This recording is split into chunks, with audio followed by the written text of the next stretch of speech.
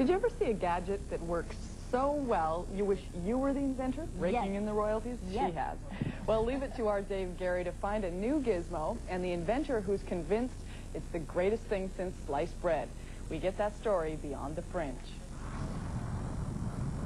In Squamish, risk is relative. And while this type of daring do may stop traffic, we found a fellow meeting the vertical challenge much closer to home. You can work safer, you can work faster, and you can work cleaner. Work safer, faster, cleaner, high above the azaleas where eagles soar. That's Larry Kunkel's domain. Here where the air is decidedly thin, he clutches and teeters, knowing that the slightest slip can lead to Ah! It took me 10 years to get it to the stage. Well, that means I was up on a ladder about a thousand times working with a little piece of coat hanger. Yeah. And I, one day I'd have it this way or bent this way, trying to figure out the best way that I can move a pail Yeah. up and down that ladder and still be safe.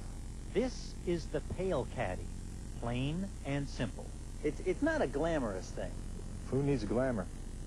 Who needs glamour when all you really want is a safe, practical way to hang a pail of paint from a ladder?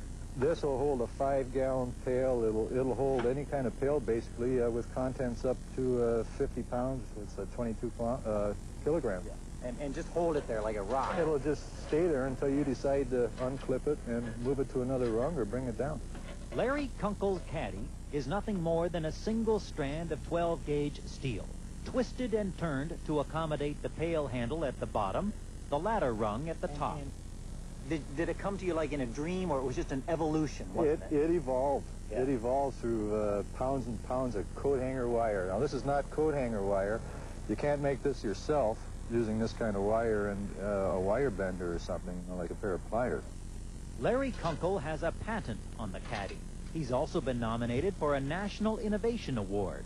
What he really needs is a marketer, someone to put the words pail caddy on the tip of everyone's tongue. Remember, they snickered at the safety pin, poo-pooed the paperclip.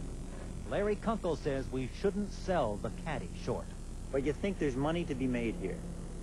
Oh, I know there is. I just would really like to hang up the old paintbrush and the sprayer and reap the profits of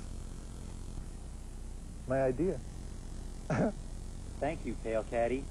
Tell Caddy Daddy. The pail caddy daddy. That was a good line. Uh-huh.